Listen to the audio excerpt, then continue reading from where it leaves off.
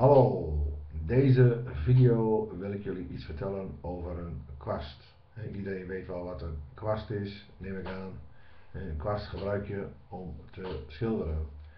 Nou, een kwast bestaat eigenlijk hè, uit, een, uit een houten steel, dat noemt ook wel een geverniste steel, met, met een touwwoeling eromheen en meestal uh, haren. Nou, die haren die bestaan eigenlijk uit varkensharen. Nou goed, voordat je en uh, dan is ook altijd de vraag van uh, welke soort kwast moet je gebruiken, welke nummer moet je gebruiken. Nou, ik schilder eigenlijk mijn hele leven eigenlijk al met kwast nummer 10 en met kwast nummer 14. Kwast nummer 10 is eigenlijk uh, een pinkdikte, pinkdikte noemen ze dat, en de kwast nummer 14 is eigenlijk een duindikte. Nou, de kwast nummer 10 gebruik ik voor, puur voor gladlatten te schilderen. Het is een mooi klein ronde kwast. En kwast 14 voor kozijnen als, als er grotere oppervlakten zijn, dan ga ik naar een lakroller. Maar goed, daar, daar meer over straks. En voordat je dus eigenlijk, dus als je dus een nieuwe kwast hebt, dan is het gewoon heel hoofdzaak, dat hoor je wel vaker, zet een minimaal 48 uur in lauw water met een sopje. Als die 48 uur om zijn, schud uh, het water goed uit, spoel hem goed na met water en schud hem nog een keer goed uit. Daarna, als hij droog is, pak even een schuurpapiertje en ga met dat schuurpapiertje, eh, pak de, de haren zo vast in je, met je wijs en je duimvinger, dat je de einde van de, van de haren van de kwast eh, ziet.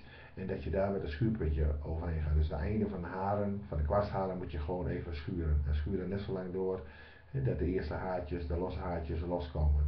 Schud het nog een keer uit, pak een droge doek en probeer het nog een keer. En net zolang dat er geen losse haartjes meer uitkomen. En ga dan schilderen. Ik doe meestal een nieuwe kwast, gebruik ik altijd eerst voor de grondverf, want als daar een haartje in zou komen, kan ik hem er altijd nog afschuren. Ik gebruik hem eerst een paar keer voor de grondverf, zodat ik zeker weet dat er geen haren meer uitkomen. En dan pas voor het aflakken. En ondanks dat je schuurt, hè, dus het, is een nieuwe kwast, hè, door de bewegingen, eh, komen natuurlijk altijd kleine haartjes uit. En als je die in je schilderwerk ziet, zou het jammer zijn. En op het moment dat je gaat grondverven en het droogt op, zie je die haren altijd terug en die kunnen desnoods nog uit gaan schuren. Nou, eh, hoe, berg je die, die kwast dan op?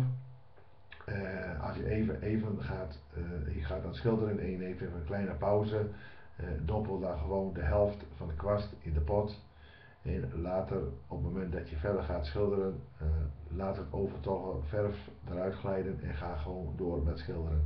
Ga je de volgende dag schilderen, zet hem dan gewoon, uh, voordat je de kwast opbergt, het overtollige verf eruit en zet de kwast gewoon in het water. Mocht je vaker schilderen, ja, dan kan ik maar één advies geven en dat doe ik zelf ook ik zet ze altijd in rauwe lijnolie. Ik heb dan ook zo'n paintpot, die kennen jullie ook wel, die kun je in elke winkel wel kopen, waarbij de kwasten erin hangen en niet in, op de bodem liggen. Hè, je kwastharen gaan scheef trekken. Dus als je zegt van ik ga regelmatig schilderen, pak dan zo'n paintpot of ik weet niet wat die benaming is. Maar je kunt die potten wel, het zijn meestal rode potten met zo'n blauwe rekje erin en daar hang je gewoon de schilderskwasten in. Nou, wat ik dan altijd doe, ik doe eerst de helft vul ik met rauwe lijnolie en ik vul daar 10% uh, terpentine toe, ik roer het en ik laat daar gewoon de kwasten in hangen.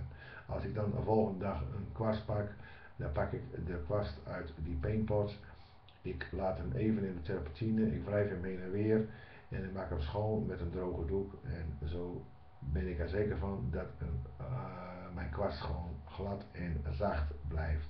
Goed, dat is over de kwasten die dus gebruikt met een verf die op terpentinebasis is. Je hebt natuurlijk ook kwasten op watergedragen verf. Dat zijn andere kwasten, dat zijn kwasten met synthetische vezels. Goed, die kun je heel anders behandelen. Hè. Het is immers op water gedragen, dus als je gaat schilderen en je pauzeert even, doe je hem ook even in de pot. Maar moet je hem voor langere tijd opbergen, dan is het gewoon een kwestie van schoonmaken onder de kraan.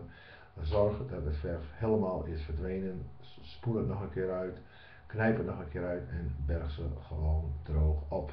Nou goed, en naast de kwasten kun je ook verfrollers gebruiken. Eh, de filtverfrollers, de lakverfrollers, ja, die zijn tegenwoordig zo geweldig, je ziet eigenlijk geen sinaasappeleffect meer. Dus ik schilder eigenlijk met twee kwasten, 10 en 14, en met een lakfiltroller. Natuurlijk zijn er ontzettend veel kwasten, maar ik gebruik maar twee en daar doe ik het mee. Mocht je nog advies hebben over welke kwast je voor welke oppervlak je kunt gebruiken, stel me dan een vraag onder deze video. Of je hebt je zelf nog een, suggestie dat je zegt van hey Piet, je kunt dat ook zo doen. Ik sta altijd open voor dingen.